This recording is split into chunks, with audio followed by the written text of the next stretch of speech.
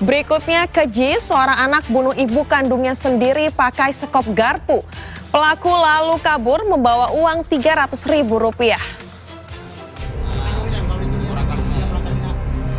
Bikin geger malam-malam.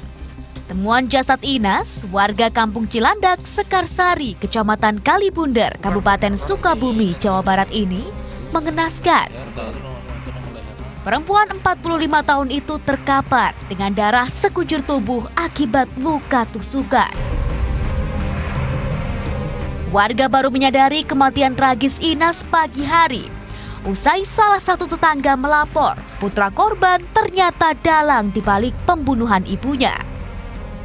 Ah, tolong bunuh saya. Saya udah membunuh ibu saya. Gitu ke saya gitu doang udah.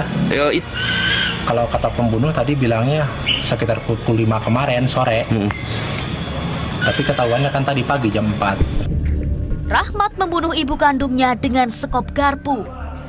Usai mencabut nyawa korban, pelaku lalu pergi sembari bawa uang korban.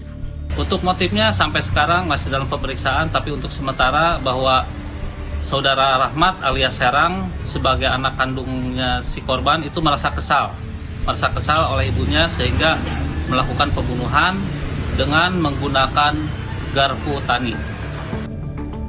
Polisi masih selidiki lebih intensif motif dibalik pembunuhan. Sementara pelaku terancam hukuman 15 tahun penjara. Panji Aprianto melaporkan untuk NET.